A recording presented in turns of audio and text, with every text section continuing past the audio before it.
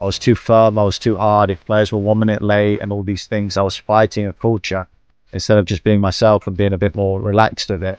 Um, and in the second year, I really relaxed a bit more and I let them come to me a little bit more in terms of, well, if they want help, they need to come and approach me instead of me trying to push them. I think if you look at the best, best, best coaches, they're doing it. I think you watch Klopp, his relationship with the players. I think you watch Pep, his relationship with the players. Uh, uh, they're doing it. They're making their people better. They're making their players better.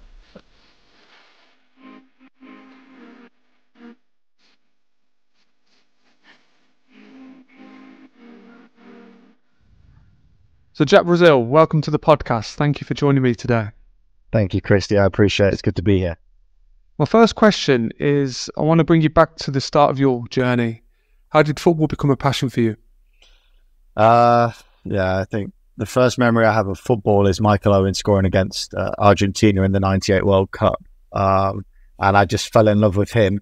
Um, I thought he was brilliant. He was 18 years old and I was four and a half, nearly five and it was all I ever wanted to be was to be the striker who scored for England because I saw the adulation, I saw everything around, how great and how revered he was at that time. And um, I remember my mum went, and I think she was going to get me an England shirt with Owen on the back, but inadvertently the only one with Owen on the back at that point was a Liverpool shirt, so I became a Liverpool fan. Um, and then ever since then, it just it, spawned into this addiction. Um, and it wasn't just Liverpool that was the addiction, it was everything. I had every single team in the Premier League. I had their football album, their annual. Um, I was obsessed. I started playing Championship Manager, I think, when I was six or seven.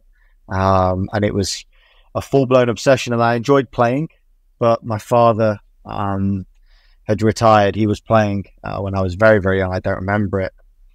And he started coaching, and my first memories of football are going with him to where he used to work at Notts County, and I would be the spare player on the side, ready to jump in at any point. And I saw him coaching, and I think by the time I got to 14, 15, the idea of being a player, being realistic, I knew really how much demand, uh, how high the demands were to become a professional player because I'd seen it through my dad and the players he was coaching, and I realized I wasn't that good. Um, so I really started to change my attention and uh, and focus on coaching. And 16 years old, then uh, I really focused on becoming a coach and, and, doing that the best I could. So I think that would be the way it started, Michael Owen, and then it sort of snowballed into something bigger by the age of 16. What is it about coaching that you enjoy the most? You mentioned obviously your experience with your father and being exposed to maybe different types of people and different types of environment.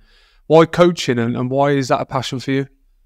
Yeah, the first reason I went into it was because I wanted to win like I think any coach does. I think you become obsessed with winning. So I was the worst under 15 coach you could ever imagine. When I first took a team at 16, we were the worst team in Nottingham.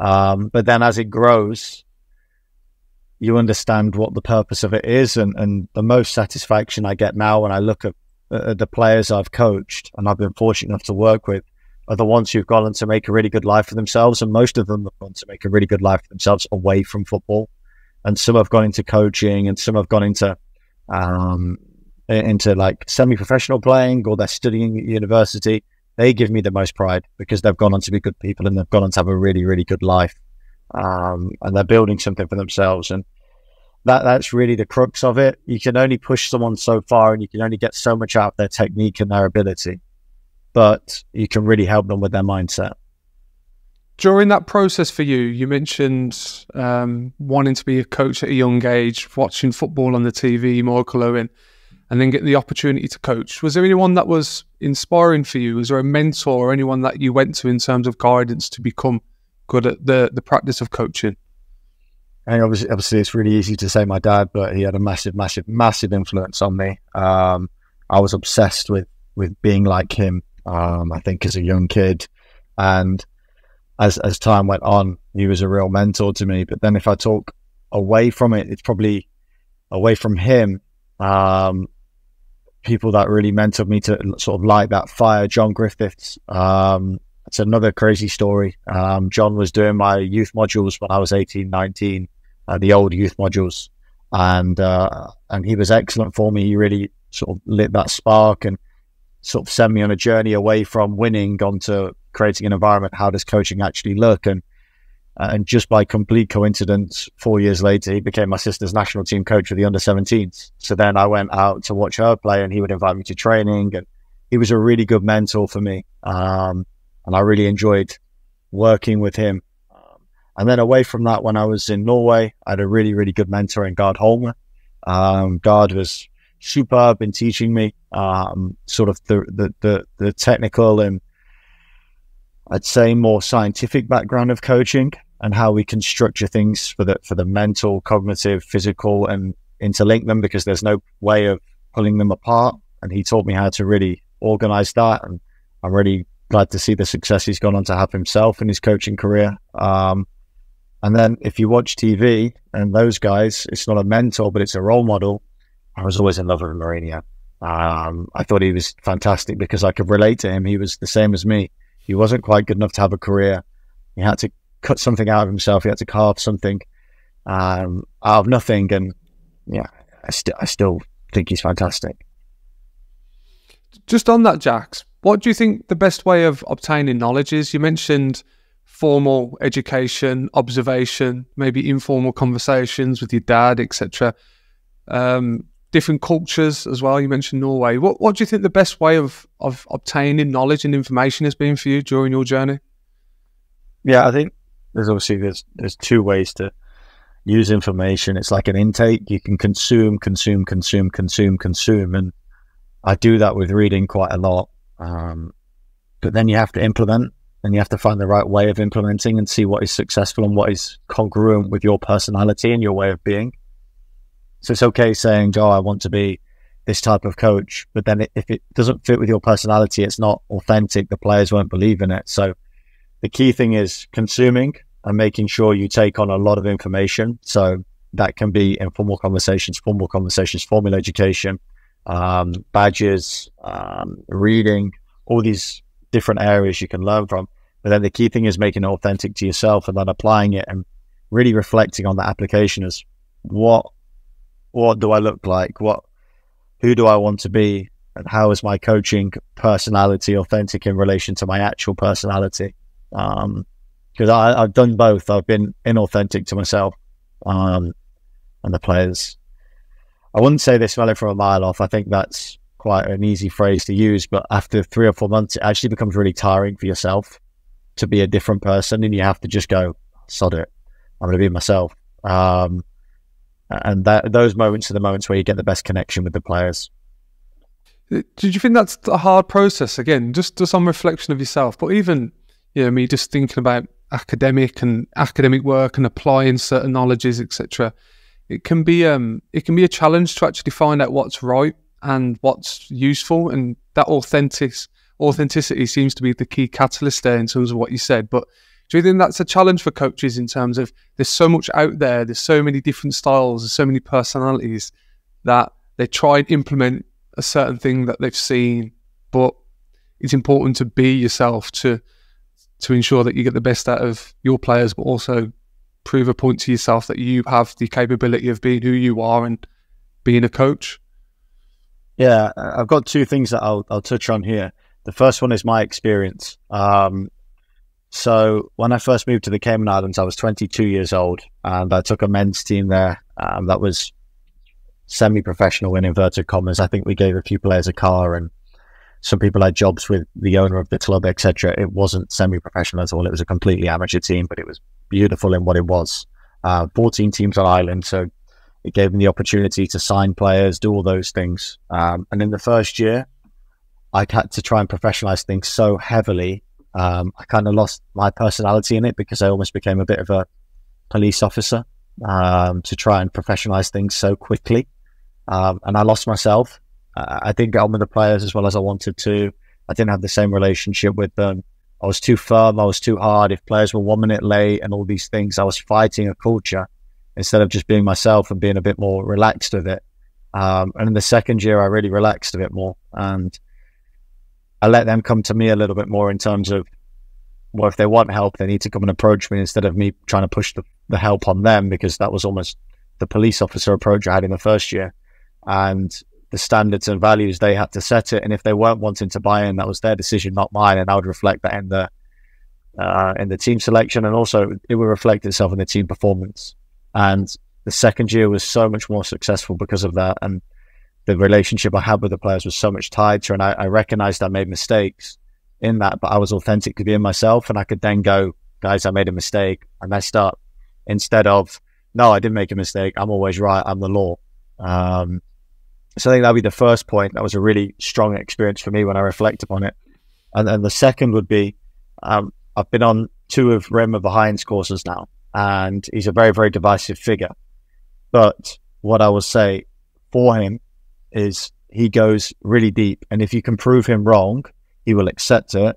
And then we'll find out what's right. And it's not about being wrong. It's not about being right. It's about finding the truth in something. So you really dig deep for a week and you're up all hours. There's 20 hour days, but you talk about what's the truth in football, what's the truth in the way we communicate. And that's a really different way of doing, um, I'd say, an experiment. And it is, it's a football experiment for a week. We find out how much we can learn across the week. It's tiring, it's really difficult. But then you come out with it with these truths of what are true. But then he always says at the end, but this has to fit with you authentically, your personality, and your context. If you come in and you do all these things uh, that we spoke about as truth and the way we train, 100% everyone in the club is going to go, he's been on a course, what an idiot. And you're going to get cast aside. So you have to be smart in how you bring things into your context. And that's about being authentically yourself and not losing who you are, even though you might know something which is um, better than what you're doing already. How has that course as well as experience shaped your leadership? And I'm intrigued more from a cultural point of view because we'll talk about your journey um, across Europe and across the world in a moment. But how is your leadership within that from those practices that you've learned? Is there anything that stands out that you think is valuable to you and you hold as a as a true value within your your practice? Yeah, um, the the key thing, and this is quite non-Dutch, so I, I find this quite difficult where I am um, at times, but also I have to adapt to them. So that's another way probably another thing you can put straight away uh, straight away is uh, adaptability, availability of yourself, and giving yourself, making yourself available to change and be adaptable to what you're in. But I'm always trying to find the strength. So I get told here, I say well done and good job too much. Um, but I'm always trying to highlight and find the people that are doing things really well as you want them to do, instead of finding the people who are doing things wrong that you don't want to do. So then you lead the environment towards success and what does success looks like uh, look like and how people are going to um, follow that in place of um, negatively speaking about other people um, at the bottom of the group or that are struggling or are not doing as you say. So that that'll be one thing that's really key for me, and I particularly learned that probably in the second year in the Cayman Islands and the first couple of years in Norway is focus on the ones who are doing it right and and the rest will follow. And if they don't, they're going to drop off. Um, and it's almost a natural selection. But if you go for the bad players and you're always trying to affect those and the ones, and I, by bad players, I don't mean bad in talent and in technique and in quality, they can actually be at the top of the group. But if their behaviors and their way of working is bad, then you're just fighting a losing battle. Focus on the guys who are doing it right. Focus on those players. Focus on those boys and girls who are really, really pushing the group in terms of standards, values, the way you want to train, the intensity, the attitude that you want to hold, and being authentically themselves uh, and giving themselves in every instance. They might make mistakes, they might mess up, they might make really, really difficult decisions um, in situations where there's an easy decision there to be made. However, the key is that they're the ones that you focus on and lead, and hopefully the rest will follow. And if they don't, it's natural selection you mentioned Cayman Islands, Norway, and obviously where you are now in the Netherlands. What? How did international? Uh, how did international coaching come about? Can you tell me a little bit about of what your outlook towards traveling and experiences, new experiencing new cultures was like for you? Um. Yeah. Uh, so 2018, I finished school, um, sixth form. Really didn't enjoy it. I didn't have a good experience at school. It wasn't something I really felt an affinity to. I felt a real affinity with coaching um, and improving myself in that way. So I decided that I wanted to travel, and I've always loved traveling. I've always loved seeing new places. It was something that's really important to me um, to understand different people. And I was fortunate enough to grow up in quite a multicultural area as a kid, and people would always talk about home and, and the countries their parents came from. And I was a bit envious. I wanted to see something else. I was bored of Nottingham. I was bored of where I grew up. Um, and that's not to say it's a bad city, but there was a an element of I want to see more. And um, I had a year out between uh, sixth form, the end of sixth form, and, and and university. So 18 to 19, I didn't have anything to do. So I emailed every single football association in the world. Um, and I'm sorry if you received one of those emails from me. Um, and I'm also a little bit angry because I only got two replies ever. Um, and uh, I got, uh, I emailed pretty much every first or second division club in countries I was interested in visiting. And I got three replies, um, including the two from the football associations. One was the Turks and Caicos Islands Association. One was American Samoa, and one was a guy in Mongolia. Um, and uh, in the end, I went to Mongolia at the end of my first year of university uh, and coached there in the Premier League at that point. Um, and it just it just started it for me. I was like, yeah, this is for me. Um, this is so different. The the whole thing around it, it's so so so different to coaching in England, and I'm really intrigued to see more. So the next summer, I took my football team of university to the Turks and Caicos Islands. We played all the nationalities there. We played the national team there. We took the national teams um, for three weeks, which was amazing. I went to Gibraltar in Spain and coached there. And then at the end of my university, I got offered a job in the Cayman Islands. Um, again, through emails, through LinkedIn. I just offered myself and I got a two week camp in the Cayman Islands. I went out and did it, did really well, and they offered me a full time job. And that just rolled into another thing and it rolled into another one that rolled into Norway, that rolled into the Netherlands. And um, yeah, I, I, just enjoy that feeling of, right, I'm not very good at this. I don't know the language. I don't know what's happening. But when I come out the other side of it in a year and a half, two years' time, I'm going to be so much better as a person, as a coach. What was it about the culture then that enabled you to adapt? You mentioned Cayman Islands and other environments where you, you've been in, and you, your words were you have to adapt to the culture, adapt to them. Uh, how do you do that? How, how is that achieved? Oh, it's a tough six months. It always is a tough six months. Um, the Cayman Islands. I suppose you have to drop ego and everything around that kind of mindset of yours and, and being open to do new things. I'm just intrigued on that process. Yeah, it is really hard because uh, I've said this a few times. Um, when when I went to the Cayman Islands, I had all the answers, um, and I was going to bring the answers from England to the Cayman Islands and educate the country, and we were going to succeed and win everything. But the truth is completely the opposite. Um, they taught me a lot more than I ever taught them, um, and the, the the key was understanding what was really important to them. So we had a lot of things like lateness was really big there. So players, if I called training for six thirty, I'd be lucky to get everyone there before six forty five, six fifty, and some players would still be turning up at seven fifteen. Um, and we think, whoa, uh, that's that's not right. Yeah, but they live on an island where everyone lives the same. You don't live by the clock. You live by, okay, I need to get this done, and it's like, and when you look into the history of it, it comes from the seafarer days where they just waited until the sea was right for them to go out on their boats because if it was too choppy, they couldn't go out on their boats. So they would wait. So they weren't on the clock. They were just waiting for the correct moment to do things. And it's just ingrained in their culture of, yeah, it'll be done when it gets done. And that leads into the guys who are working as cleaners, the guys who are working at account, accountant firms, to the guys who are at school. It gets done when it gets done. And I'll be there when I'm there. And so then I had to adapt myself and be like, right, well, if I start the session with seven, and then I have 11 by 15 minutes, and then later than that, I'm going to have 20. How do I make sure that I can always have an effective exercise that's teaching what we want to teach um, ahead of the game on Saturday? And it was so annoying. It was so difficult, but I had to adapt and I had to learn to adapt to, to that. And the appreciation I got from the players for adapt uh, because I adapted to that was perfect. And and little things like that, that I used to do um, with them I used to go to their restaurants with them. I used to go to um, their family things. I used to go and hang out with them in their spots. And instead of, and, and the Cayman Islands is 30,000 people expat, 30,000 people Caymanian.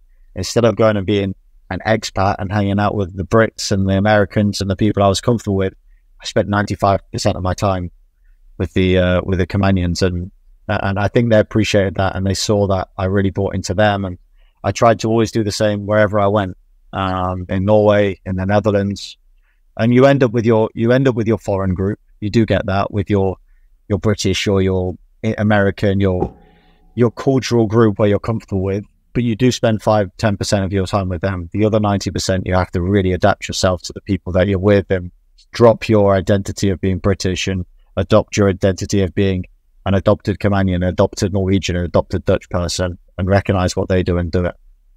And did you learn language through that process, Norway and, and the Netherlands? I'm sure you immerse yourself in language and, and, and try to to integrate via that way. Do you, do you practice new languages? Yeah, yeah. So I speak enough Norwegian. Um, I was quite comfortable coaching in Norwegian, a lot more comfortable than I am in now in Dutch. Um, Norwegian's an easier language. Um, Dutch Dutch has been a difficult challenge, but I think I'm I'm a lot closer than where I was six months ago. I've really died, uh, sort of dove into that challenge over the last six months and really pushing myself with it. I've always been competent, probably since January 2022. So six months after I moved here, I, I went on a course and I did a lot of work on it, and I got myself to a specific level, and now I've, I've stepped on. Um, and that's not to say I'm perfect at either, but I can communicate very clearly. I can make myself clear on a football pitch. Um, I can explain everything that I need to. If a player needs backup in Dutch or Norwegian, I can explain it to them in the, both languages.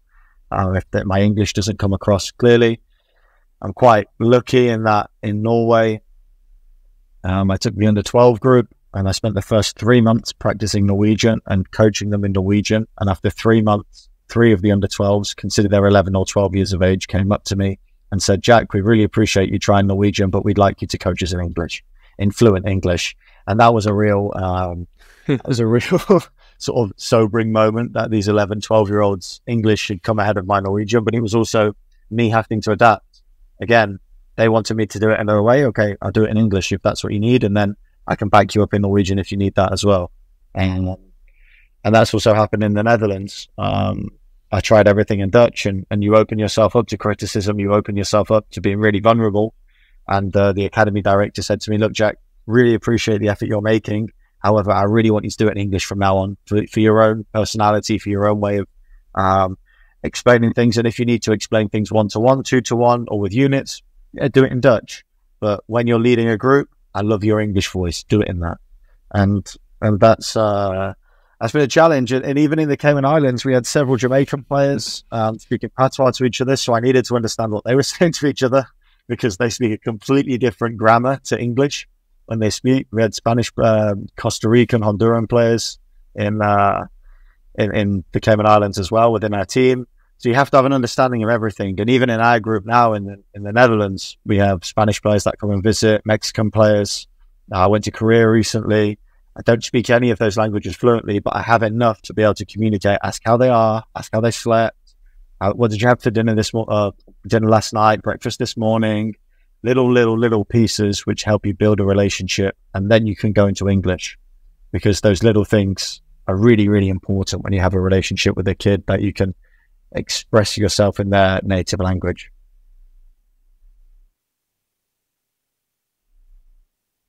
Is there anything that you've learned during that period of, of traveling and, and working in different cultures and different people and expressing language and changing identity and, and, and, and trying to build a relationship with, with people that you wouldn't have learned in the UK? Is there anything that stands out during your experience on reflection that you think this is what I've learned? And if I was to stay in Nottingham or was to stay in the UK and apply my trade in academy football there, I wouldn't have had this outlook towards coaching or the world. Is there anything that stands out in that in that regard? I really know and I really notice why people are different now because I see the environments they grow up in and how varied they are. I think if I continued to stay in Nottingham, they'd be from different places and different like towns or areas in Nottingham. And yeah, you might have a bit of a different upbringing, but it's 90% the same. There's not that much difference. People aren't, um, and I say this very, very generically, but people aren't in situations where they're really struggling to eat, etc., etc. There's the there's the people that are struggling, and that's terrible. But on the whole, you're looking at a population which is pretty well looked after, and we're we're pretty we're, life's pretty good. But then you go to the Cayman Islands, yeah, there were people living in my team that were living in shacks, um, and you're looking up the road at multi-million pound businesses. And at one point, I had a goalkeeper for my team. Still speak to him now. Great, great lad. Um, English, and he was earning a lot, a lot of money uh, working for a, a, business in the Cayman Islands. And he was also the same as me, expatriate, grew up in Britain, moved for a job. Um, but then at the same time, I had a kid who was struggling to get through school because he couldn't pay for his books. How how do you manage that? How do you manage such different lifestyles and such different backgrounds? Um, I don't think I'd have experienced that in the extremes that I experienced it with so many different backgrounds within the team people growing up in different countries and different environments and different languages, completely different cultures, and then you've got to bring them together in a team. That was a real, real challenge. And in Norway, I was treated to another thing. We had 20, no, 32 players, sorry, um, in my under 14s, and 28 of them didn't have two, uh, didn't have two Norwegian parents. There was only four players in the team who had both parents Norwegian. The other ones had maybe a Bosnian parent and a Norwegian parent, or a Somal- uh, two Somalian parents, or a Pakistani parent and uh, a Norwegian parent. So many different cultures in one team. So then I had to know, well, what do you eat at home? Um, to my Somalian player, and in comparison to a Norwegian player, that's a big difference in their diet. There's a big difference to the time they went to bed. There's a big difference to when they woke up in the morning. How do you deal with those things? Oh, okay, I've got seven Muslims in my team. They've got to pray during Ramadan. They're not eating during Ramadan. How do I incorporate them with the guys who are on a normal Norwegian schedule? That's uh, that's a challenge that I don't think I would have got in the same extremes in Nottingham. I'm not saying I wouldn't have got a challenge like that, but the same extremes, nowhere near. Yeah, it's interesting. Interesting how that's opened your mind towards different cultures, different ways of life um, and it's challenged you to, to maybe adapt your outlook towards the world as well. Would you agree with that? Mm-hmm.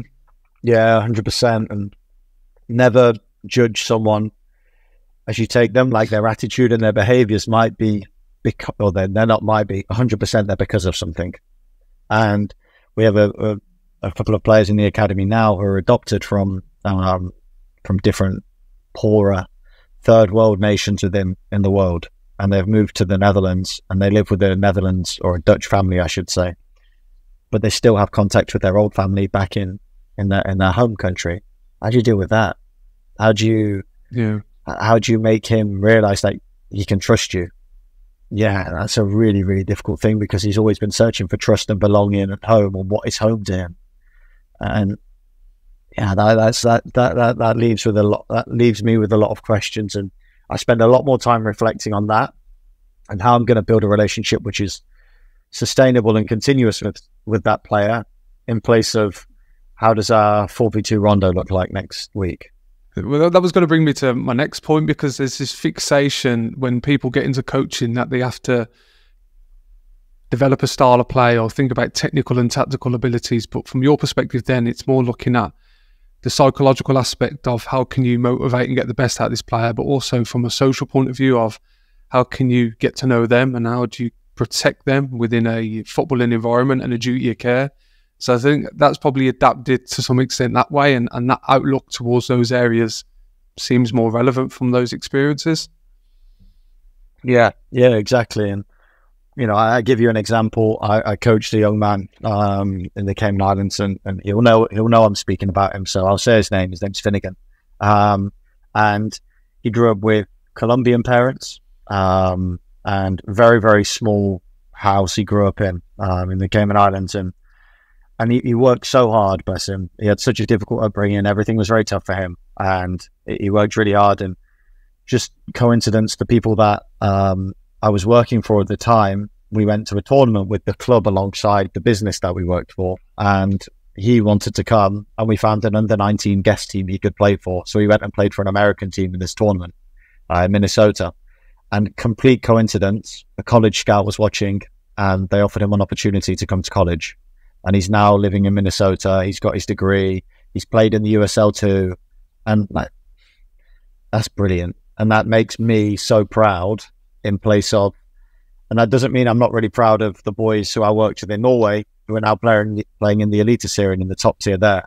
But that feeling of seeing Finnegan with his daughter now and his life there and playing football in the USL and having a job and he's really took himself from a difficult environment and he's made something really positive of his life. Um, that that's the one that you go, yeah. And there's other boys in the Cayman Islands as well. Um, for example, I name him Jonah, played for the national team, back in the national team now, but he's now coaching. And I'm like, wow, that, that's special. One of the players I've worked with has now gone on to be a coach and he calls me and we text and he asks, Oh, what do you think to this? What do you think to that? That's the area where I get the most reward as a coach. And yes, the win feels good for 24 hours, but the feeling when I think of those guys, that, that won't go, that won't move. And uh, that's the best part. Has that shifted maybe your outlook towards coaching then, in, in terms of how you define success? Because from that perspective, you, you're seeing the individuals from a, a human nature and appreciating their journey and what they have become. But as mentioned, you know, coaches can fixate and on winning all the time and wanting to to have extrinsic rewards because it looks good on them. How, how, how do you balance that? How do you define positivity there within your practice? Because there's so many different aspects as as we've spoken about. How, how do you outlook? What is your outlook towards that? And has that been redefined through these experiences in the Cayman Islands, in Norway, and, and, and in Netherlands now? I think if you look at the best, best, best coaches, they're doing it. I think you watch Klopp, his relationship with the players. I think you watch Pep, his relationship with the players. Uh, uh, they're doing it. They're making their people better. They're making their players better as footballers, but also as people. Um, the growth in certain people. I think a perfect example right now is Darwin Nunez. What a start to the season for him. But you've seen his confidence and the way he is as a human growing. And there hasn't been that problem between him and Klopp visibly where they don't like each other or there's been a fight. That it's a supportive, hey, you might not be there yet. We're going to get you there relationship. And I don't think it's, I don't think they're separable. I don't think you can say, right, I'm a purely performance winning coach. I'm just about winning. You can be a performance winning coach and still care about your players and still care about the environment you create and making them the best they can be and, and creating an environment of, um, trust, care, allowing them to be themselves without being scared of failure. And if they fail, they fail, sod it, whatever happens, they fail. But then you're there to pick them back up and push them again to the next level. Um, I think that that that really is success, and whether that is, and I think Pep and Jurgen will probably feel the same when you watch it. If they're going to be successful. It might not be that they're successful at Liverpool or City, but if they go on to have a successful career, I think they'd feel the same, the same happiness and pride for them as they do if they go on to win for, for Liverpool and City. Do you think that's the problem at Chelsea potentially at the minute in terms of that human approach? And, you know, there's so much different players coming in, and there seems to be maybe a lack of camaraderie connection, and, and that's taken time with the different managers. And again, I'm just on your point because I'm intrigued how you mentioned Liverpool City, and then in contrast to that, you see issues with Chelsea around players performing really well at other clubs and coming in and not necessarily settling effectively, and different different types of international players, different uh, age scales as well. I'm intrigued on what you think on that. Yeah, it's it's about keeping a group together and adding two or three players each year. Otherwise, you upset the balance too much. Chelsea are going to be a year or two away from having something. And if they buy, if try and buy their way out of trouble in January, they'll put themselves back another six months. They have to, and and they have to trust Pochettino. Pochettino is a fantastic manager. You saw what he did at Tottenham, but he did the same thing at Tottenham as Pep and Jurgen Klopp have done at uh, at Liverpool and City. At Spurs, he kept with the same group. He didn't change it too much. One or two players every year. Keep the group the same.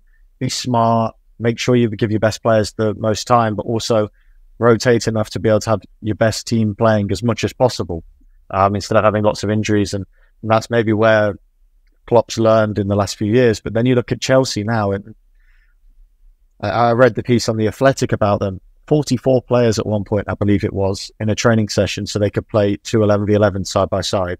Um, so they had to take players from the 23s, and there wasn't enough room in the changing room. So new signings uh, for 80 million euros were changing in the hallway or in a broom cupboard, yeah, this is one of the best clubs in the world. They've won two, they're the champions of Europe, and you have players changing in the hallway. That's not going to make you feel valued. That's not going to make you feel cared for. That's not going to make you feel like I'm a really important part of this club.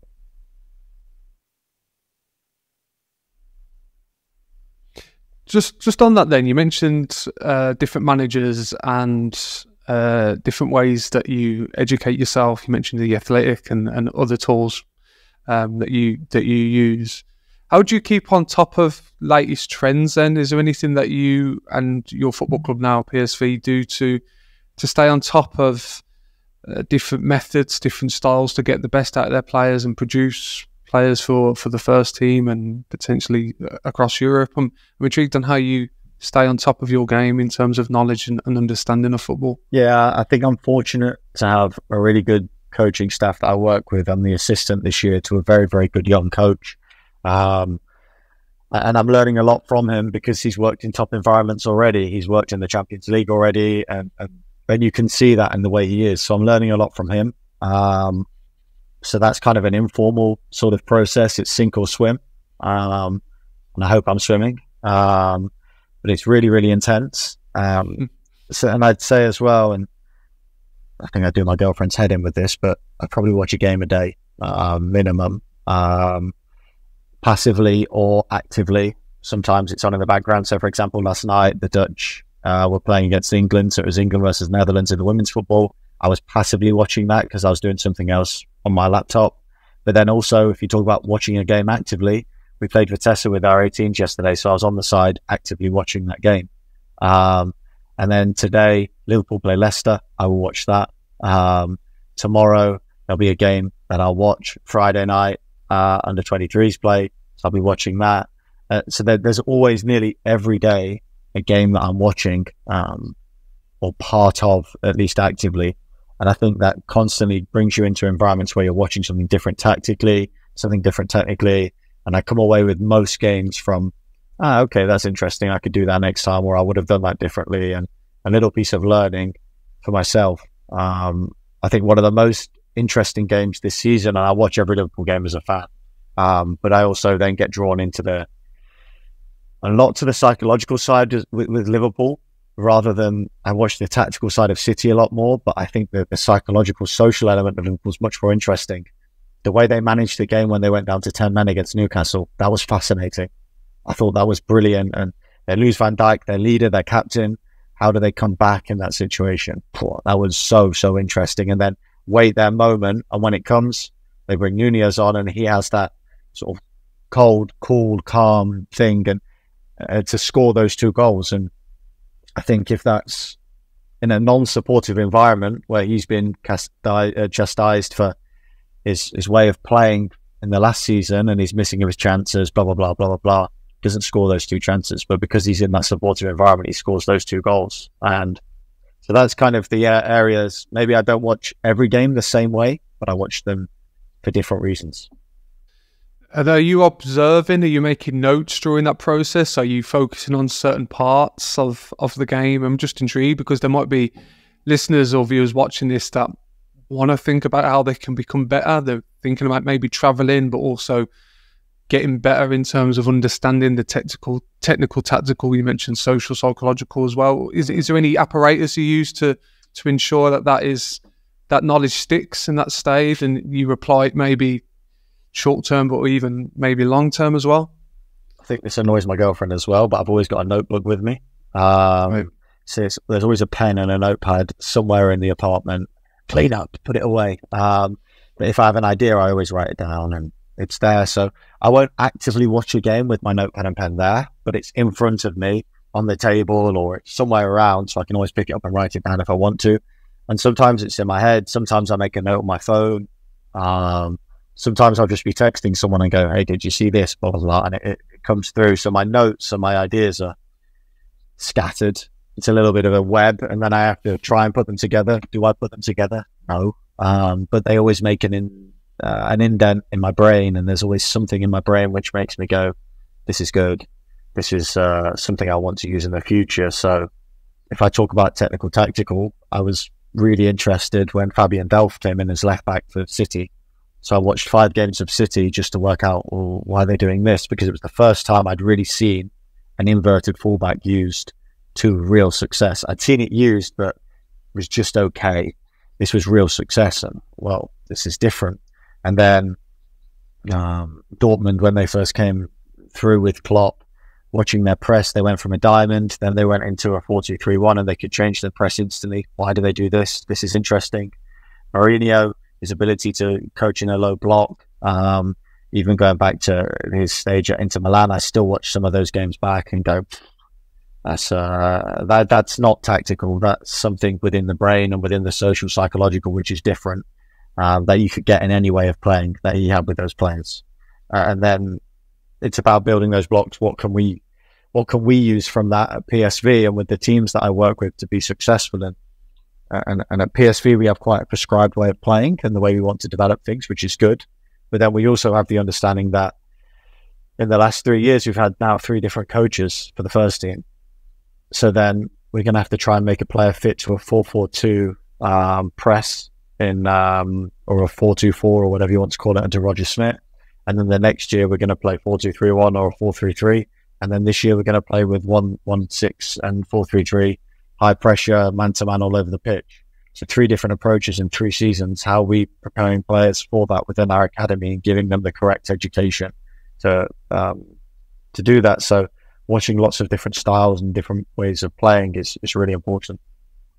Just on that then, Jack. So how do you find a balance from your personal perspective in terms of resting and, and trying not to avoid burnout? If, if football football um, is intense, it's it's fast paced, uh, it's on all the time, you're surrounded by it all the time. What do you do to, to, to maybe switch off from training or switch off from from um, you know, watching games or, or kind of in it, seeing it as a more of an enjoyable perspective. Because the reason I say that, I had a spell a couple of years back at West Brom, and my social life would be me going to watch a, a team in the West Midlands, and it's just I couldn't get away from football. It was on constantly. I was working in it.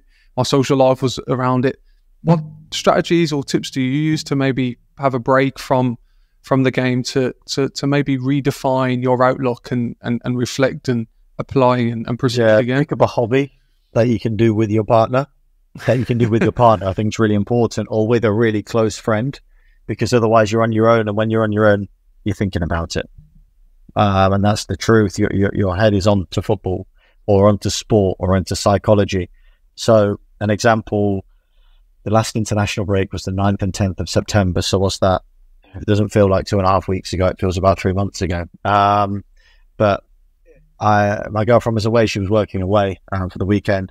So what did I do on the Friday night? I watched New Zealand versus France in the rugby because I thought that was fascinating. What did I do on the Saturday? I watched the Grand Prix qualifying. What on Sunday? I watched the Formula One, and then I watched another rugby game. Um, I watched the international football as well. So then I didn't get a break. um, but then when I'm there, the other things I do is I'm trying and I've been really good at it up until this last week. We went for the um, we went to London for the youth league game, and we also had we've had we we play Saturday, Wednesday, Saturday, and Tuesday right now, so there isn't much time. But I try to go to the gym minimum of three times, four times a week, lift some weights, do some cardio. I enjoy that. Makes me feel good. Makes me feel like I'm getting better in another area of my life. Um, and then as much as possible, the Sunday I try and keep it as non football as possible. Go to the gym, make some food, go on a walk, stay away from it. If Liverpool are on, I'll turn it on exactly on kickoff. At half time, I'll go and do something else for 15 minutes and then I'll watch the second half and then that's it. I put it down. But yeah, I think um, having things away from football that you actually actively participate in is good because if you go, oh yeah, I, I, I, like I like going out to eat. Well, you can't do that four times a week. You know, there has to be something which you commit to three or four times a week, which you're away from football and you focus on something else, which you can have fun with someone else. Otherwise, and it's got to be someone away from the, the sport. Otherwise, you're you're done. You're just going to talk about football all day, every day. Yeah, it's just an interesting point of view because, uh, again, on reflection on my time and even even observing other coaches, there seems to be a, a, a period of, of, of burnout because it's that consistency and that that I don't know if the, this is the right word to, to, to say, but like that rat race of, of, of trying to become a good coach, trying to be good. And there's ambition and there's there's the opportunity to, to thrive, but there also needs to be a balance. And I think sometimes that is uh, that's not taught at universities. That's not that that's just taught through experience, and uh, and being aware of that is important. And it's it's refreshing to hear that you you kind of do appreciate that. Yeah, there was a period when I was in Norway, and my first year in Norway, I, I worked a ridiculous amount of hours. I was working 70, 80 hours a week. Um, I was coaching two teams, um, working in their foundation phase, four days, five days a week. I was an assistant coach of a team as well. Yeah, I never got a day off. I never did anything. It, it, it just completely burnt me out. I was done. Uh, by the end of the season, I was, I was a shell. I was just making my way to work and then leaving again. Um, and I was finding some time in the morning to run 20 minutes three times a week, and that was my time. So I had an hour basically a week to do what I wanted to do, and I wasn't earning enough to have a nice life away from it. So that was really, really difficult. And I think once I got through that, I appreciated how important it was to have those breaks and those little bits of time to come back on myself. Um, and really understand who I am and what I want to do with myself um, to keep my energy high. That helps. And, and yeah, I don't, I don't, I'm not embarrassed in saying I've spoken to therapists and things like that about it because it got really difficult and I found it really, really hard. And fortunately, the, the COVID break came at a really good time for me to appreciate do I actually really want to do this 24 7?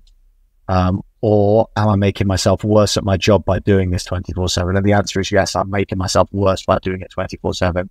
So I need to find an outlet or something to give myself a release to make sure when I'm there for eight, nine hours a day, they get the best Jack eight, nine hours a day instead of a half cooked Jack who's just surviving on 60%.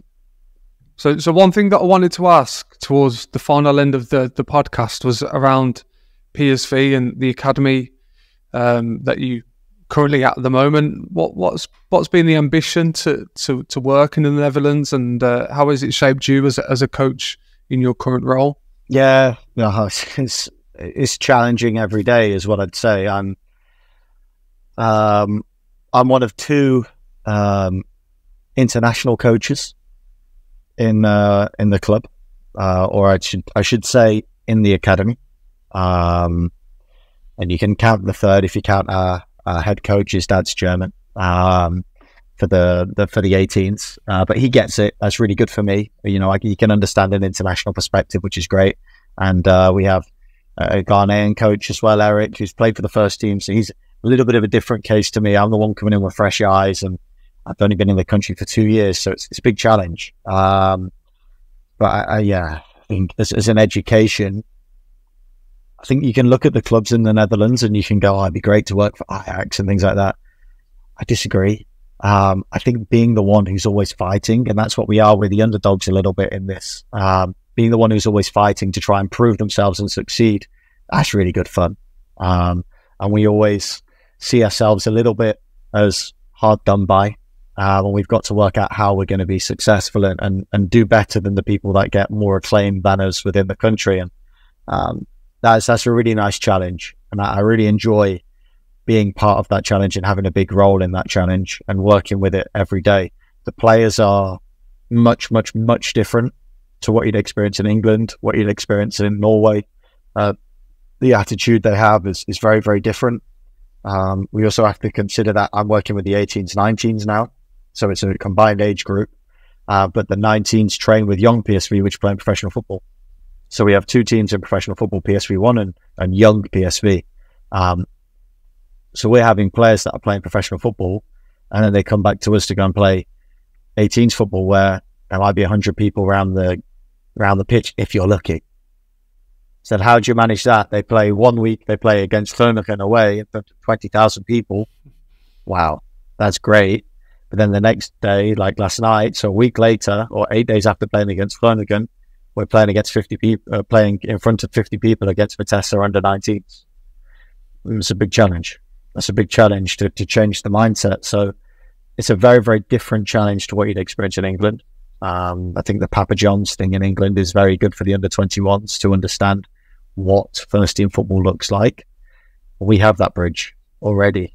Um, so you know, it's, it's it, being the only non Dutch person or the only one that's international fresh on the scene as myself, it's, it's a big challenge every time I'm there, but I really enjoy it.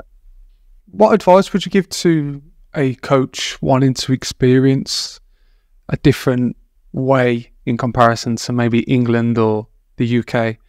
What advice would you give to someone that has got that ambition similar to yourself, uh, but don't really necessarily know how to go around it? But what, what would what would your tips be on that?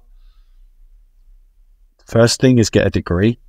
Um, and it sounds really boring, get administrative, but it is the truth. For for you to get um, a visa now in many countries, a degree is the minimum. You need to get a visa. Um, and post Brexit, it is necessary in the EU to have a, a, a, degree to work in the EU. In 90% of the countries, if you want to work in a decent level, you have to have a degree.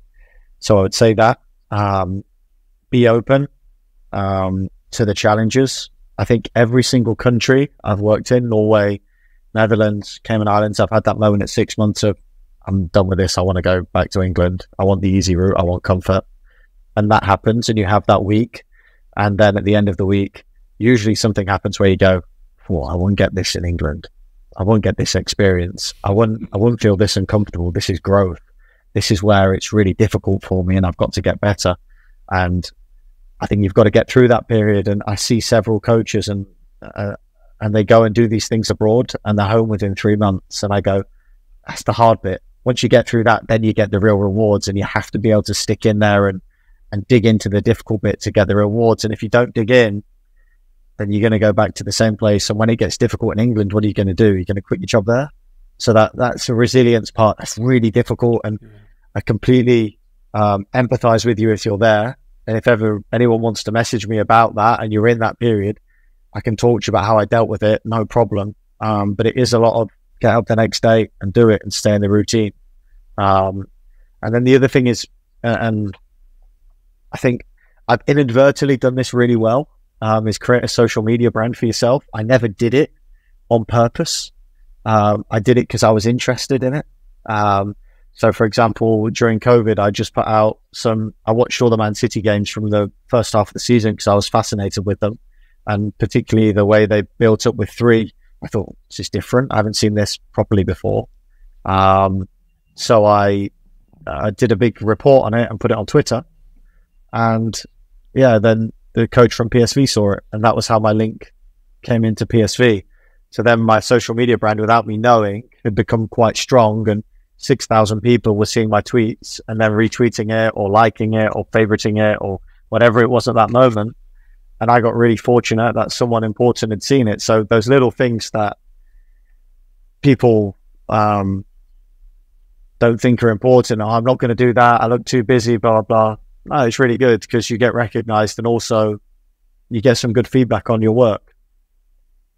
Yeah, really interesting. That I, I, like that how that that's come about and the power of social media. A lot of people are skeptical of social media, but actually, in that instance, it shows and displays you as an individual, but also gives you opportunity. So, uh, I think that's valuable. My my final question, Jack, is um, very much around you as an individual and um, what I tend to do with my guests is either get them to look back or look forward. But I think because of where you are, where you are in your development and your uh, ambitions and your outlook towards the world through your experiences.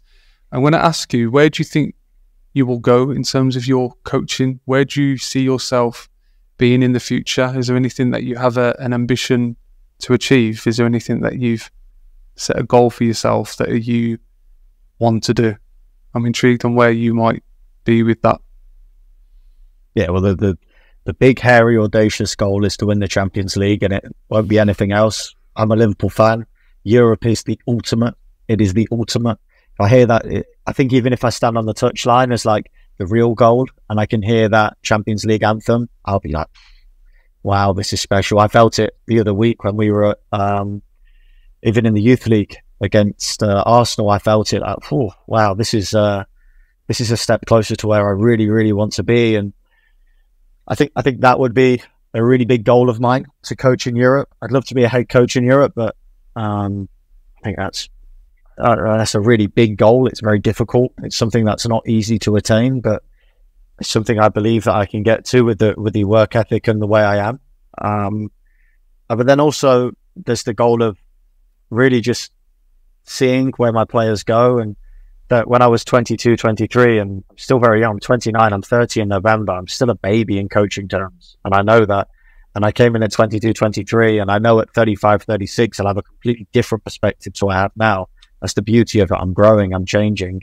But at 22, 23, all I was interested in was that European trophy, and, and that was where I was going to go. I was going to be a first team manager in the Premier League by 30, and all of these silly, ambitious goals, which are great because they push you.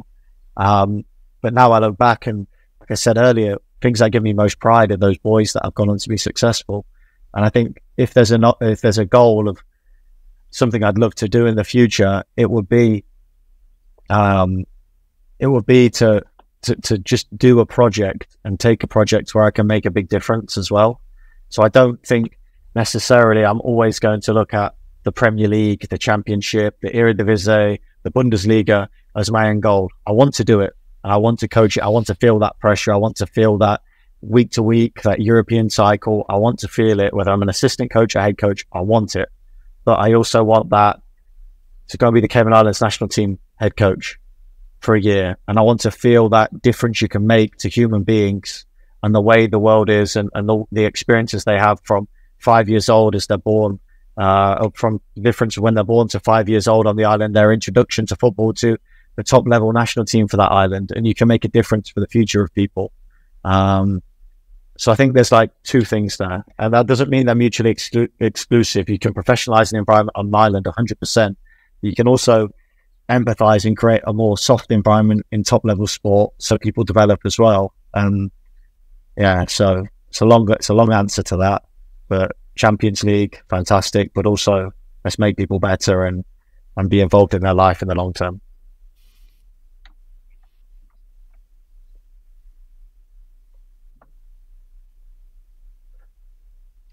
Love that, Jack. And where can listeners find you? You mentioned uh, you're happy to give advice. Where, yeah, where can people Twitter connect Jack with you? And, 29. I get a lot of DMs Twitter as well. Um, I apologize if I don't get you on online. Um, Christie knows I'm bad at responding. The reality is I get Wednesday off and it's Wednesday morning and this is the time that I respond to my Twitter messages if I have them. Um, so I set an hour aside to do that on a Wednesday and sometimes I won't because sometimes, with respect, the the questions I can't answer. Uh, it's impossible. Can I get a trial at PSV? No, I can't do that for you, for example. So, um, but if you come with something, you need some help, you need some advice, and you can give me a really detailed question of what you need advice with. I've responded to many coaches. I've had phone calls with many coaches. I'm happy to do that, but don't. Oh, how do I become a coach? Uh, that's something specific. I'm more than happy to help. LinkedIn is good as well. Um, I'll respond and talk there. Um, and if you want to meet me in person, um, we have the PSV Coaching Academy on LinkedIn. You can find that. And we have open days um, three times every year. So three two day periods. And you can come and visit the club. And that's where I'm two days purely on coach development from the outside. Um, so I'll talk you through our way of working with the 18s, our way of working in the academy. You can watch the 23s play in their uh, second division game and I'm there to have discussions. And we had four sets last year. And if you ever want reviews, I can put you in touch with people there. That is where I'm. I come alive for two days in helping coaches from outside. So if you're interested in that, check out the PSV Coaching Academy on LinkedIn. We'll put all the links to your social media as well as the, the PSV Academy in the description. So if anyone's listening or watching, they can click that and, and have a look and uh, speak to yourself if they if they feel that's relevant. Um, Jack, I just want to say thank you for your time. Obviously, being a busy person and you're setting your Wednesdays aside. Um, obviously, you've set aside some time for me. So I just want to say thank you for that. And also, good luck with the future. I love your ambition. I love your drive. I love your determination. your ability to put yourself in uncomfortable situations, whether that's within your coaching role, but also maybe f- putting yourself in different countries where you learn and develop yourself is a, is a great asset. And like I said, it's not learn at universities. I think that comes within. Um, and I think that's very inspirational for many listeners or viewers um, listening to this podcast. So just want to say thank you for your time and, and good luck. Thank you very much, Christian. I really appreciate it. It's been great to be on and have a good chat this morning.